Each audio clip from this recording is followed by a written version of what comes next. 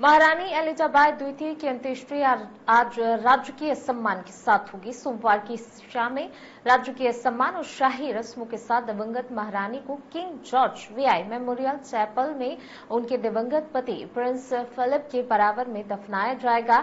महारानी के अंतिम संस्कार में दुनिया भर के गणमान्य नागरिक शामिल होंगे।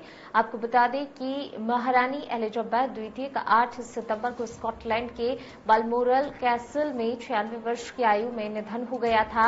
महारानी का पार्थिव शरीर वेस्टमिंस्टर हॉल में रखा गया है और उनके अंतिम संस्कार की रस्में आज यानी कि सोमवार सुबह वेस्टमिंस्टर एब में होंगी। अंतिम दर्शन में किसी तरह की परेशानी न हो, इसके लिए अभूतपूर्व तैयारी की गई है। इस ऐतिहासिक पल को लाइव देखने के लिए जगह जगह कई स्क्रीन लगाए गए हैं। साथ ही ब्रिटेन में एक दिन का सार्वजनिक अवकाश भी घोषित किया गया है। इसके साथ ही महारानी एलिजाबेथ द्वितीय के अंतिम संस्कार की पूर्व संध्या पर पूरे ब्रिटेन में लोगों ने एक मिनट का मौन रखा।